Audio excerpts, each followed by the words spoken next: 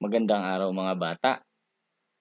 Welcome sa ating pangatlong episode ng ating amazing program para sa inyong lahat.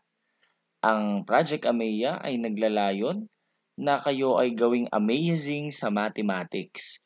So, ngayong araw ay pag-uusapan natin kung paano nga ba mag-multiply ng simple fraction at mixed fractions. So bago ang lahat, uh, ipopost nyo ang video na ito at sasagutan ang limang katanungan na makikita nyo sa screen. Babasahin ko ang panuto para maunawaan nyo uh, kung ano man ang dapat gagawin. Learners will solve the activity involving the necessary skill in the lesson.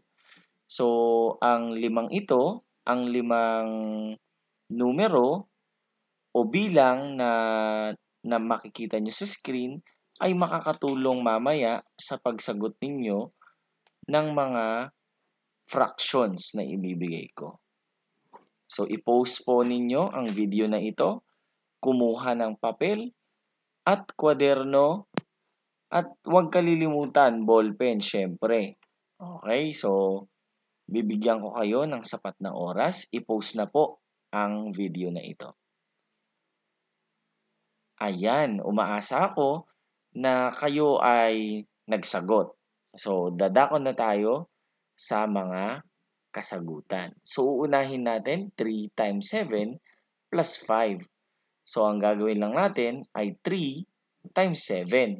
So, 3 times 7 is 21 plus 5, 26. Number 2, 5 times 5 is 25. Tama plus 6 ay 31. 4 times 3 ay 12. Plus 4 ay 16. Number 4, 6 times 2 ay 12. Plus 3, 15. Number 5, 3 times 5 ay 15. Plus 10 ay 25. Umaasa ako na kayo ay nakakuha ng perfect score dahil ito ay balik-aral lamang at ito ay ginawa natin upang makatulong sa ating pagmumultiply ng fractions. So dumako na tayo sa multiplication process. Unang halimbawa, 3 fifths times 5 sixths. Ano ang gagawin natin upang makuha natin ang product? So una, step number one. Multiply straight across. Multiply the numerator and then multiply the denominator. Ibig sabihin, imumultiply lang natin ang 3 sa 5 dahil sila ay numerator at imumultiply natin ang 5 at 6 dahil sila ay ating denominator. So, isusulat natin ng ganito, 3 times 5 over 5 times 6. Numerator times numerator, denominator times denominator. Ipag-multiply na natin. 3 times 5 is equal to 15. 5 times 6 is equal to 30. Ito na ba ang ating product? Hindi pa. So, ito ay magiging partial answer. Bakit partial answer?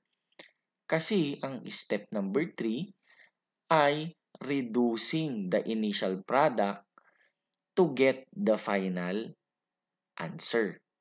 Of course, we do this if it is necessary. If not, we will skip step number 3. So in this case, 15 and 30 is divisible to 15. So, i-divide natin. 15 divided by 15 is 1. 30 divided by 15 is equal to 2.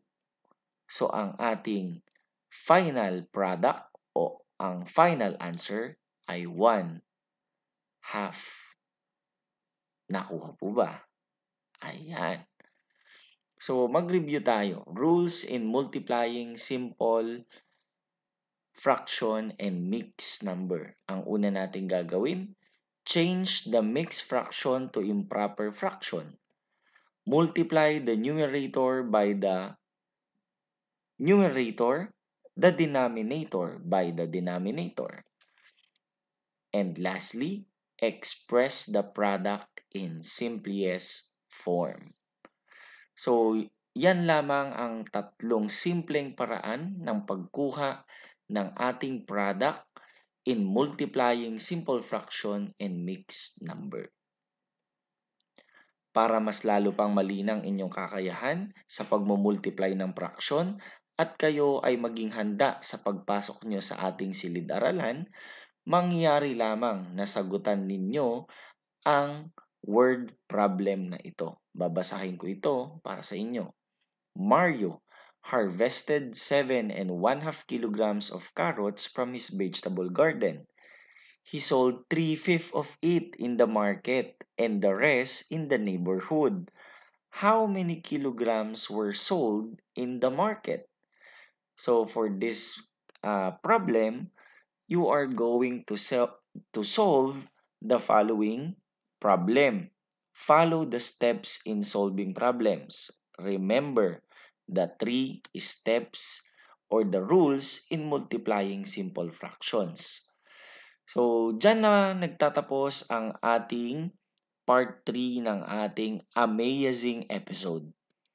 So, I hope na ang lahat ay maging amazing in mathematics at abangan ang susunod na upload ni Sir Jade upang malinang pa ang inyong kakayahan sa matematika.